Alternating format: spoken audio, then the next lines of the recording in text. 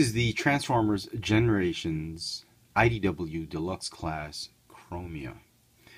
Now the figure is part overall of Wave 6, if I'm not mistaken, of the IDW figures. Yeah, Wave 6 I think. And she comes, here's the packaging. And the wave, uh, her wave mate is RC. Nightbeat, I think, is from Wave 5. So, there. She also comes with uh, an uh, a comic book with a Hasbro exclusive cover. Pretty neat. This is actually chapter 11 of the Dark Cybertron arc, Black Planet. I didn't. I, I don't know if I saw her, even a cameo. I don't think. I don't think I saw her. I've been trying to scrutinize every panel. I don't think she's in this comic book. But anyway, so we'll leave it at that. Oh, here she is. Very nice. Um, I saw pics of this this figure displayed on, on comic conventions, and I was like, hmm, do I even get her? Because I was just really interested in RC, and this one, if it looks very familiar, is a heavily retooled robots in disguise RC. Um, took the mold. The legs are very similar. They changed the wheels. They changed her uh, her butt. They changed the bike parts here and there. Head sculpt is also different. Forearms are different, but the shoulders are relatively the same. They've added some biceps, thighs almost exactly the same. Even the knees, they're they've been actually uh, it's it's actually the same mold. They've just given her a big, heavy retool just to make her a third figure. And I don't, you know, it's fine. Uh, I actually like it. And when you get it up close and personal, you open it up, it's actually very, very nice. And um, there was a point when I when I had RC and her together, I was actually liking her more than RC, the uh, Generations RC. We'll get to that when I do a review, but but very nice. Uh, so if you're thinking this is just another repaint, it's not. It's uh, it's a wonderful, wonderful use of the mold, and absolutely love it. Now she only has one gun. She only came with one blaster. The picture shows she's got another blaster right there. The comic book shows she's got another blaster. And I was like, what? Hasbro? Where's that other blaster? So you noticed I do have the other blaster and it looks a heck of a lot like that blaster except for that gray paint. Sorry. Heck of a lot like that blaster and except for the paint. I got this from the RC figure, from the IDW RC, uh, deluxe class RC figure. Somehow they've loaded that figure with two swords, a, a, huge blaster, and this one. And her, they've only given her one blaster. So I don't know the deal with that was, but anyway, she can barely hold this one because it's a it's a flat peg and her arms are designed to hold round pegs. So you can keep it like that, but it's it's it's gonna fall. Fall. Okay, so it's fine, and there's really nowhere nowhere. Well, I suppose you can put in the same slot as you would the other one. Yeah, okay, fine, it'll fit right there. So this one is supposed to fit right there in vehicle mode and quite possibly in all in robot mode. So Articulation is basically the same as the robots in disguise RC. She's got a ball jointed neck, but the ball joint is on the lower part of the neck.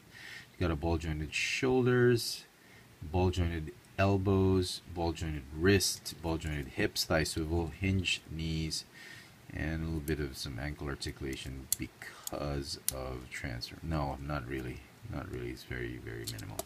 Paint apps on this figure, uh, good as good as can be. Uh, there, there's going to be white paint apps and you're going to expect some bleeding here and there but the figure I got seems to be pretty neat pretty clean there's a little bit of a scratch right there but that's fine so far the paint apps on this figure is phenomenal I absolutely love it and I wasn't sure about the color combinations if they were going to work but it works fine so very very nice the sculpt there's a lot of kibble at the back, but that's fine. Um, I can actually live with it because the main figure is sculpted very, very well.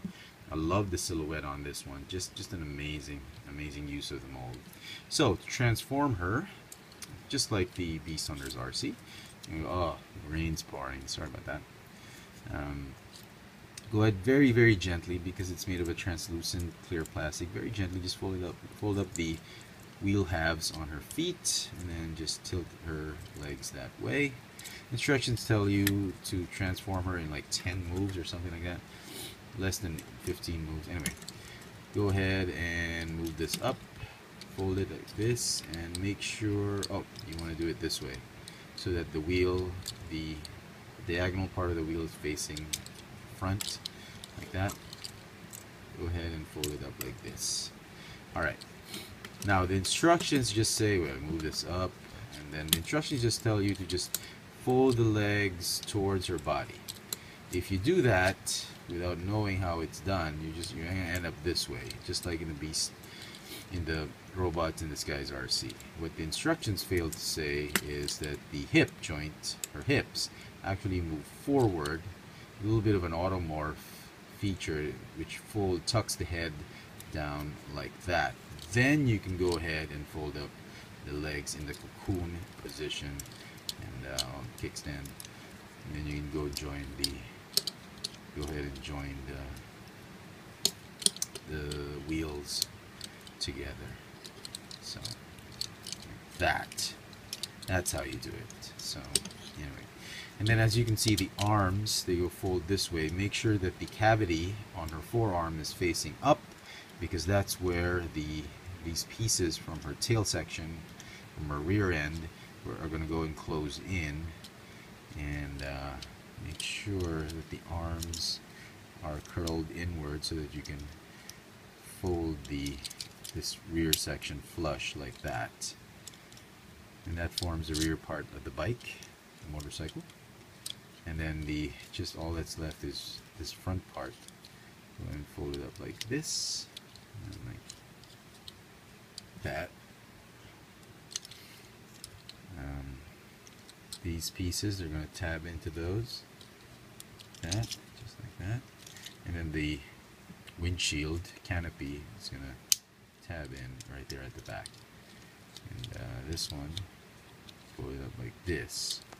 And there you have Chromia in her Cybertronian motorcycle bike mode. It will stand without the kickstand, but it, you know, just for extra support, you know, the kickstand. And the uh, weapon will fit here or on either side. And if you have the RC uh, weapon, you can put both weapons like that. It'll look neat. So very, very cool. Here is the RC from the Robots in Disguise. And I forgot to show you guys one thing. So we'll, put, we'll transform her back into her robot mode. Size comparison uh, with uh, another uh, Chug or Universe figure. Transformer, go ahead and do this. Pull this out and come on that. Go ahead and fold. It's a lot easier to transform her back. Oops. And pull her out like this. Transform that. Pull up the feet. Up the feet. Like that. That like that. Okay. Pull this one back. Like this. You go. Wow, two transformations in under 10 minutes. okay.